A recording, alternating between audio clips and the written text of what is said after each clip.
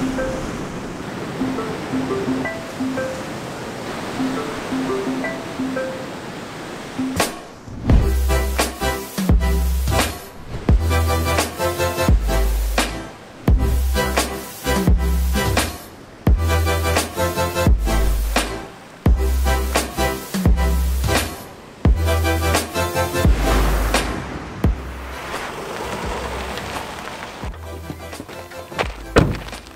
Hi, I'm Thomas. Welcome to the video.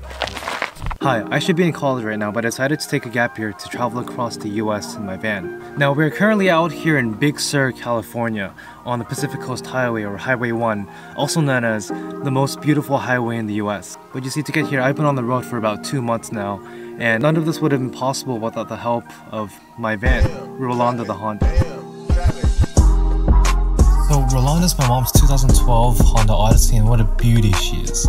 She's racked on about 10,000 miles since the beginning of this trip, but beyond mileage, she's gone through quite the transformation into my little home. So I asked my mom if I could borrow her in August, and with her approval, construction began in September. So first, I took out the seats and the car mat. Then I vacuumed the car and hosed down the mat. Next came measuring dimensions of the bed and then building its wooden base. Shout out to AlphaG for hard carrying me on the woodwork. That day I learned that cutting wood is very difficult. I then started drilling together the wooden planks to make the bed.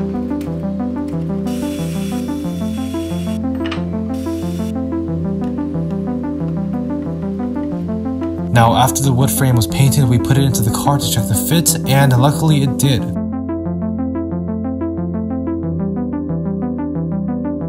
Finally, we put bins underneath for storage, and Rolanda was ready for van life.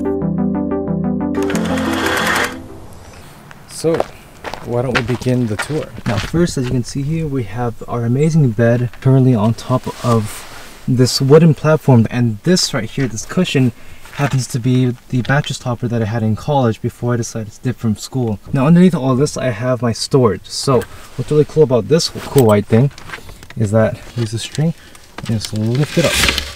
And there we go, we have our food supply. So I just stash all of my food here as well as in this ice box right here.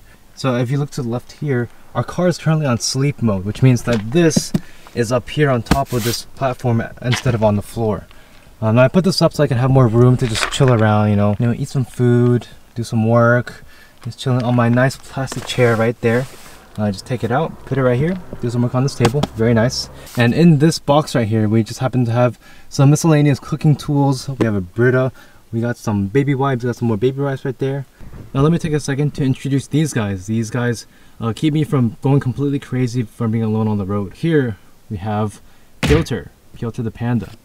And then next we have Ilyich, Ilyich the corgi. So Pyotr Ilyich. This is the first and middle name of Pyotr Ilyich Tchaikovsky because um, as someone who really loves music theory, he is one of my most favorite composers. So what do you think his name is?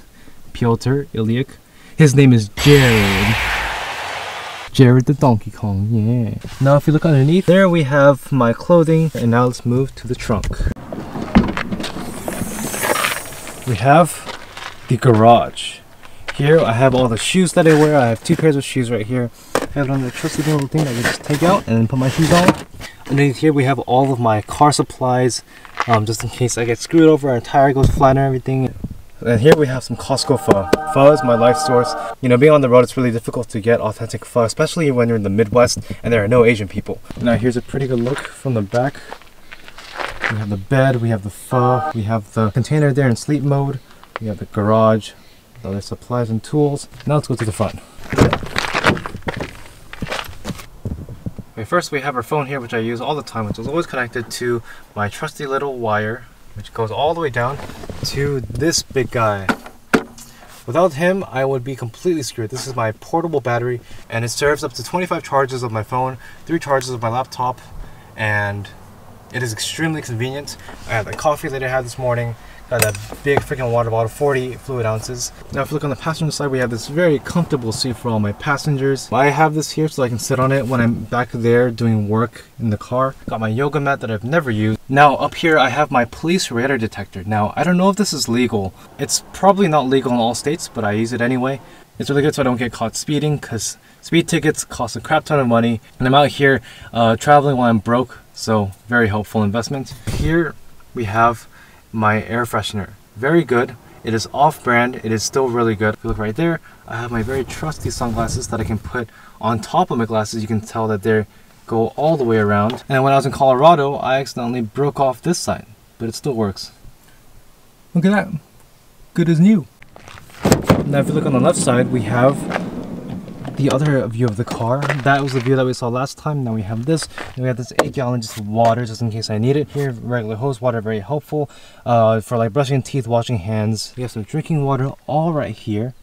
And lastly, we have the Splendid pee bottles, very helpful. Pop out one of these, close all the blinds. And now as we conclude our tour, I just want to show you one really cool thing about living in a van, which is security. First, we have the pocket knife. Very helpful, very versatile, good for inside the car combat.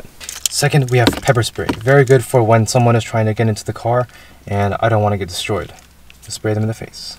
Third, we have bat, which is very good for a complete all-out combat. Now, last and definitely most misleading, we have the flashlight. Just kidding, the taser gun. So I'm going to put all the components of my van build as well as their costs on the screen now.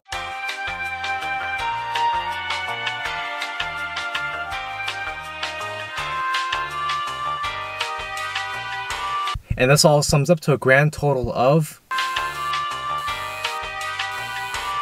Now as you can see that total really isn't that much money, much less than what you would expect to be able to travel the entire US alone. Now I want my experience to prove to you that not having thousands of dollars in your bank account is not a good enough excuse to not make your dreams come true. I was able to travel the US for a fraction of the cost that many of these Instagram influencers and crazy van life YouTubers were able to do. So if you have a dream and money is holding you back, try to find alternative ways to make it come true. Just like I did, sleeping in this minivan at truck stops for days at a time. So to sum things up, don't let your dreams be dreams and just do it. Anyway, I hope you enjoyed the tour of my little home here. I hope you have a wonderful rest of your day, and I will see you in the next one.